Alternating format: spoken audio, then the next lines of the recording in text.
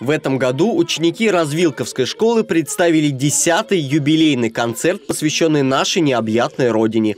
В своих выступлениях ребята рассказывали о истории развития и особенностях народных промыслов в России. В концерте приняли участие младшие и средние классы. Сегодня мы показали традиции, культуру, традиции нашей Родины. Да, и я считаю, что у нас это получилось. Апрель месяц идет, он целый месячник.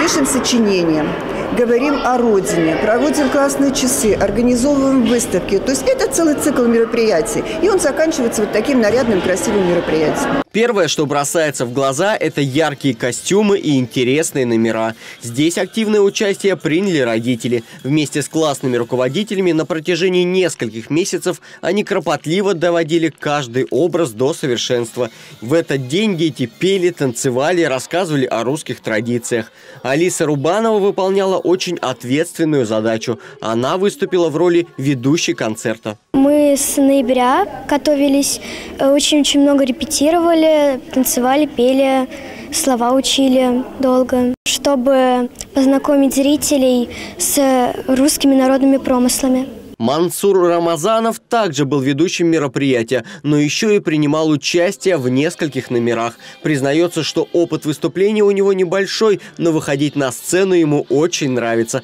Возможно, это его призвание. Мне нравится, как выполнены костюмы, ритм. Э, мне понравилось еще, как мы танцевали.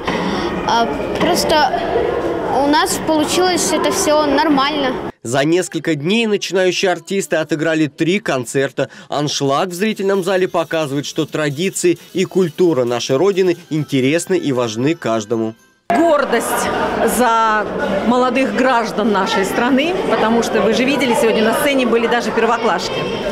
И как они, э, даже стоя за кулисами, подпевали каждому следующему номеру. Ну, конечно, для меня это состояние невероятного восторга. Заключительным аккордом концерта стало исполнение зрительным залом песни о родине. Этот волнительный и трогательный момент запомнится навсегда. Чего?